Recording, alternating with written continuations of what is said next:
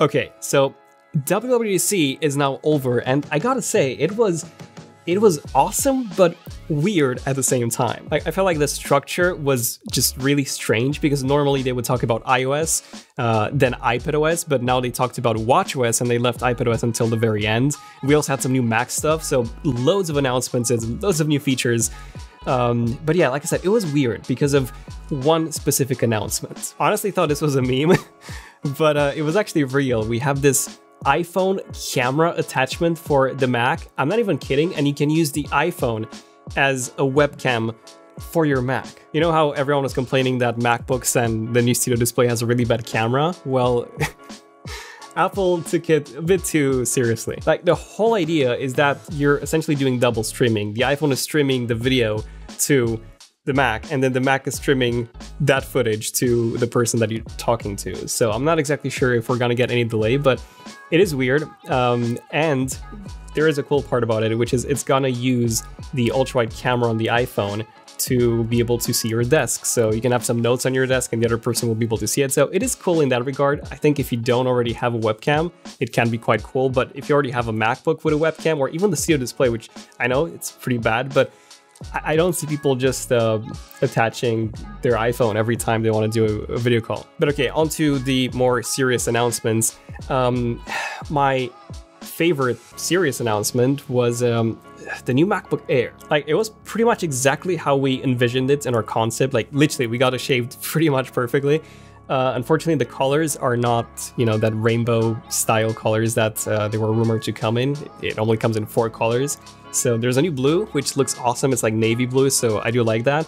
Uh, but other than that, it's pretty much the same design that we envisioned. Still fanless, it's got the M2 chip, which is, again, same as we all expected, 5nm process and all that, and 8-core CPU, 10-core GPU. I think the most unexpected thing about this new MacBook Air is that the bezels are thicker than on the MacBook Pro. So I feel like Apple's, in a way, doing a similar thing to what they did with the iPad Air, where, you know, they could have just given it the same bezel as the Pro, but they decided not to, to make it look inferior. I also found it really odd how Apple actually kept not just the old MacBook Air at the same price, so they didn't make it cheaper, the new MacBook Air is more expensive, but they also kept the MacBook Pro, the 13-inch MacBook Pro, they gave it an M2 chip, so it's the same design, and that thing is more expensive than the MacBook Air, the new one, which makes no sense because with this MacBook Pro, you have the old design, the M2 chip, and a fan. So you're literally paying for a fan, right? 100 pounds or $100 extra for just a fan, whereas the Air has the new design and the extra colors, and it's cheaper. Yeah, we'll be doing a separate video on the MacBook Air. There's just loads of changes, so definitely stay tuned for that video tomorrow. I also found out how they haven't updated the iMac with the M2 chip,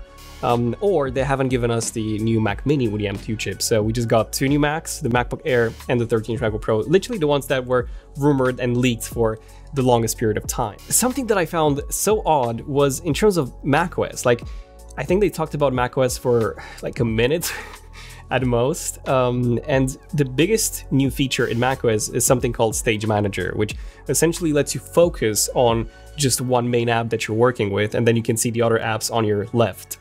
Uh, and then you can click on those sections to basically bring forward another app. And I don't know, it's just a bit weird. I feel like um, it clashes with App Expose quite a bit, but this does work really well on the iPad. So the biggest, the iPad got quite a few upgrades, but the biggest one is this Stage Manager. So the idea, the way it works, is you can simply swipe up from the right corner to activate Stage Manager. And you can actually use two apps side by side and you can still resize the windows, but you are a bit limited in terms of uh, what you can actually do with them. So you can only have two open at the same time and then uh, you can select a different group of apps to bring that forward. So that's pretty awesome. We finally have proper window management. Uh, it's not quite as good as on macOS, but it is sort of like in between what we have on uh, iPadOS at the moment. Um, so I'm a big fan of that. And the iPadOS also got uh, external display support, like proper external display support, meaning that uh, you no longer get those black bars that you used to. So I think that overall iPadOS is a pretty big upgrade. Um, the only downside is that a lot of these features, Stage Manager and also uh, the external display support, only work on the M1 iPad. So the latest iPad Pro and uh, the M1 iPad Air. Like they even added a display scaling option so you can actually scale the display down just like on macOS and make the text smaller and easier to read. And that too requires an M1 chip, which is weird. Like, I don't really get why. I also found it odd how they haven't really talked about tvOS at all. Like, no mention of tvOS at all. Uh, they did talk about watchOS, which is getting some pretty big upgrades. Like, my favorite one has got to be the improved sleep tracking. I track my sleep every single night, and uh, the default sleep tracking app currently on watchOS 8 is borderline unusable. Like it doesn't really track anything, right? It's very, very basic. So I have to use a Sleep Cycle, which is a different app, which can actually track the stages of my sleep. And now I can finally use the Apple Watch because yes, it does support sleep stages tracking. I also really like how uh, when you're doing a running workouts, you actually get different heart rate zones on your Apple Watch. So you can actually know if you're working too hard or if you're not uh, pushing yourself enough. So I'm really looking forward to trying these out, uh, especially the sleep tracking. There's a couple of new watch faces too, although two of them are simply revamped uh, old watch faces, and two of them are indeed new, which I do really like the look of. But obviously, WWDC is a software event, and the biggest announcement by far, in terms of you know how long Apple actually talked about it, uh, was iOS 16. And most of the leaks were actually present in iOS 16. We have, as expected, a redesigned lock screen, which is completely new.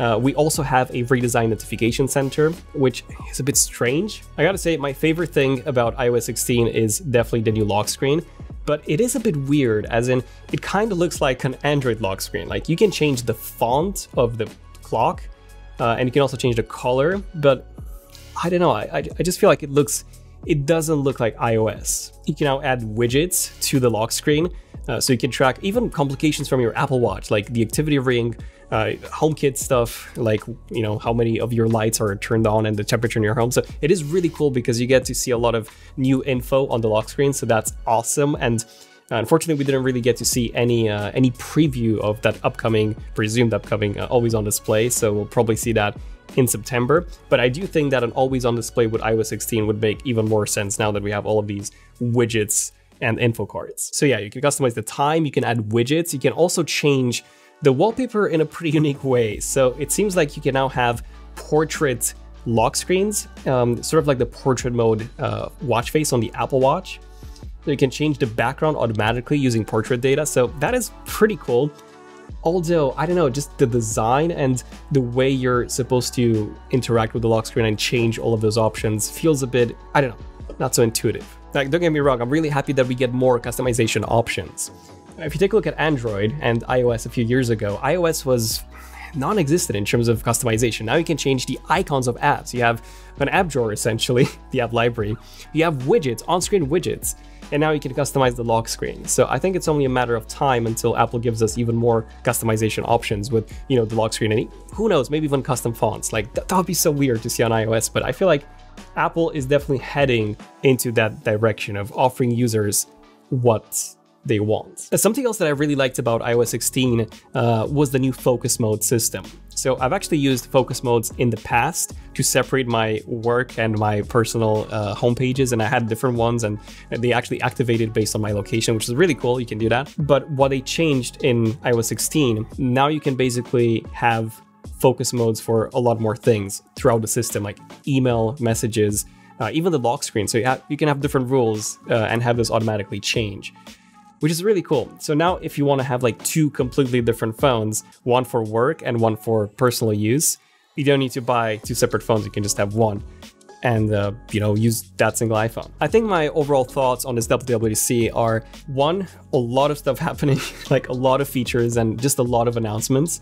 Two i was just shocked honestly to see that iphone camera attachment. That was that, that was just comedy uh, but anyways, I just wanted to give you like a quick rundown of, of my thoughts and um, we'll be doing separate super detailed videos. This was just like more of like a live video, but we'll be doing very detailed videos on all of the announcements. So a lot of uh, iOS hidden features, also uh, MacBook Air things you didn't know. I'm working on a list of some interesting findings. Yeah, it's pretty late. It's like uh, 10 p.m. here uh, in the UK. But yeah, this was just a quick update video. Let me know in the comments what do you guys think of all the announcements from this WWDC.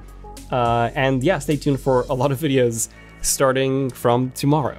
I'm Daniel, this is ZONEofTECH, and I'll see you guys in the next one. ZONEofTECH, signing out.